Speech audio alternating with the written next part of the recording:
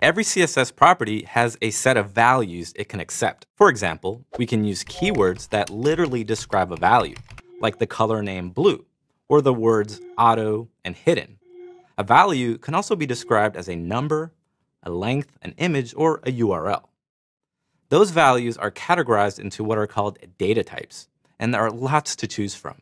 Again, we don't have to remember every CSS data type and value out there. All we need is a good reference and I'll show you a good reference, then cover the common values and units CSS properties accept. Before we get started, let's take a look at a great reference for CSS data types provided by the Mozilla Developer Network docs. So here we're able to see a list of all the available CSS data types. It starts with the angle data type and goes all the way down to this user ident data type. Now, we're not going to cover all or even most of these data types here, but we will cover the most important ones you'd probably use on a day to day basis. So, what exactly is a CSS data type? Well, really, data type is just a fancy way of saying a type of CSS value. Earlier, when we learned about selectors, we used a few CSS properties and values so we could see how they affected certain elements on the page. So we've already used a few data types up to this point, one of the most common ones being the color data type for color values. So, for example, the values orange, light blue, forest green, and light coral in these color properties are considered color data types. They're some of the predefined color keywords. So if we click the color value data type link in the MDN docs, we can see all the different ways we're able to define a color value. And we can use these color values for background color properties, color properties, border colors, shadows, and a few others listed here at the bottom of the page. And we'll revisit these later in this stage when we cover color values. So other common data types are integers, numbers, and percentages. And we can use any positive or negative integer, number, or percentage values for certain CSS properties. Usually, we'll define integer and number values with a length unit.